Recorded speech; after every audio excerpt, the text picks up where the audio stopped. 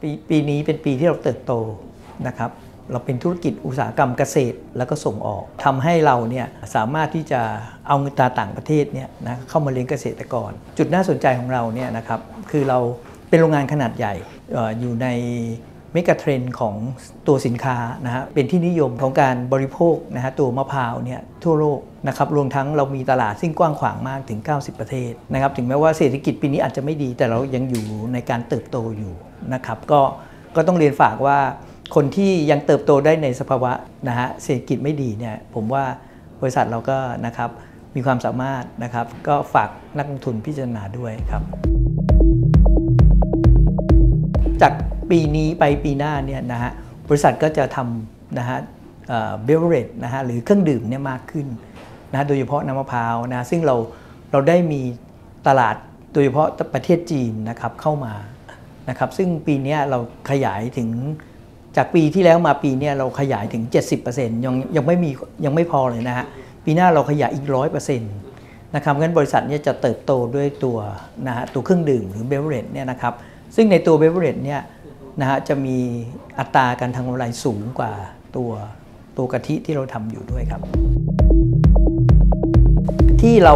มาทำ ธุรกิจอาหารสัตว์เลี้ยงเนี่ยเพราะมันเป็นมันเป็นเทรนด์ตัวหนึ่งของโลกนะครับแล้วก็อาหารของเราเนี่ยเราทำจากเนื้อไก่เป็นหลัก ไม่ได้ทำจากซีฟู้ดไม่ได้หลักเป็นซีฟู้ดนะครับซึ่งซึ่งเนื้อไก่เนี่ยผมเรียนว่าเราหาซื้อได้ทั่วไปนะครับซึ่งประเทศไทยเนี่ยก็เป็นแหล่งผลิตเนื้อไก่ได้ค่อนข้างสูงนะครับนะรวมทั้งขบวนการผลิตเนี่ยมันคล้ายๆกันกับตัวกะทิก็คือเป็นสินค้าที่บรรจุกระป๋องบรรจุถุงนะฮะนะฮะและเป็นระบบ sterilize ซึ่ง ซึ่งมีกระบวนการผลิตคล้ายกัน แล้วก็ตลาดนะฮะต้องเรียนว่าตลาดเนี่ยนะครับก็ก็จะคล้ายๆกัน ก็คือว่าซุปเปอร์มาร์เก็ตที่เราขายกะทิน้ำมะพร้าวเนี่ยก็ก็จะมีอาหารสัตว์เลี้ยงขายอยู่ด้วยนะครับเพราะงั้นเนี่ยผมเรียนว่าอันนี้ก็ไม่ได้เป็นอุปสรรคในการผลิตหรือการจัดจำหน่ายนะครับ ก็อาจจะเราเพิ่งอาจจะแค่เดินเอ่อเดินทางมาแค่ 2 ปีนะครับแต่อย่างจากปีนี้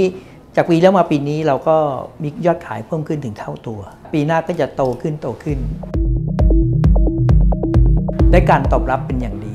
นะครับสำหรับนักลงทุน เพราะว่าเราเป็นสินค้าซึ่งผลิตในประเทศแล้วก็ส่งออกด้วย แล้วก็มีตลาดที่กว้างขวางมากนะมันทำให้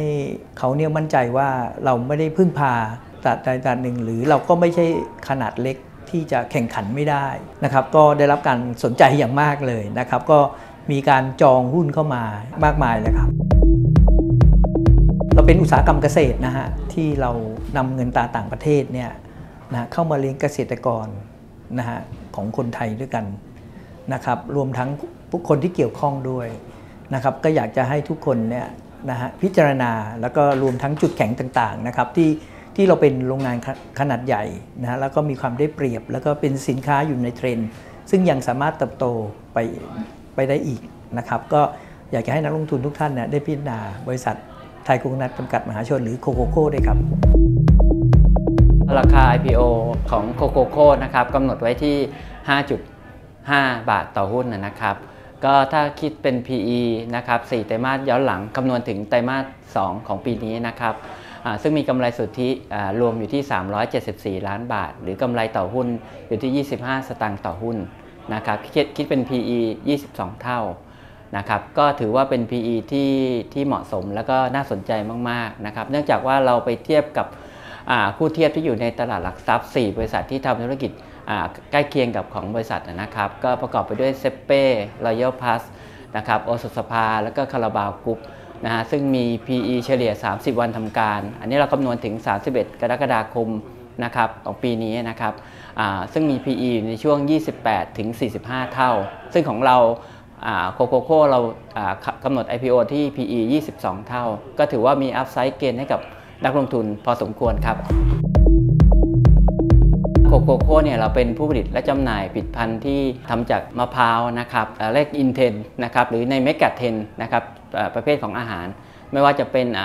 น้ำมะพร้าวนะครับอาหารสัตว์เลี้ยงนะครับอาอาหารประเภท plant-based food นะครับแล้วก็เป็นเนยชีสเทียมที่ทำจากพืชนะครับหรือทำจากมะพร้าวนะสินค้าทุกหลาย ๆ ตัวบริษัทอยู่ใน mega trend นะครับก็คือเป็นที่ ต้องการของผู้บริโภคนะครับสูงมากนะครับในในปัจจุบันนะฮะแล้วก็โดยเฉพาะน้ำมะพร้าวปัจจุบันเนี่ยเราขายเข้าไปโดยเฉพาะเราขายไปที่ทางประเทศจีนแล้วก็อเมริกานะครับเราส่งออกไปที่จีนเนี่ยถือว่าเป็นอันดับหนึ่งนะครับสำหรับน้ำมะพร้าวร้อยเปอร์เซ็นต์นะครับสำหรับอ่าแล้วก็ที่สำคัญอีกเรื่องหนึ่งอ่าโครงสร้างตลาดของบริษัทที่เราขายไปกว่า 90 กว่าประเทศนะครับทั้งอ่ายุโรปอเมริกาแล้วก็เอเชียเนี่ย ถือว่าบริษัทมีโครงสร้างการตลาดที่แข็งแรงมากๆนะครับ อันนี้ก็ถือเป็นจุดเด่นของบริษัทนะครับ ปัจจุบันเนี่ยเครื่องดื่มน้ำมะพร้าว100%ของบริษัทเนี่ยเป็นที่ต้องการของลูกค้า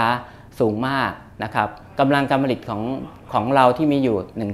0 0 ตันเศษนะครับ ต่อปีอไม่เพียงพอกับความต้องการในปัจจุบันนะครับ นั้นเงินที่เราได้จาก IPO ส่วนหนึ่งเราจะเอามาขยายในส่วนของ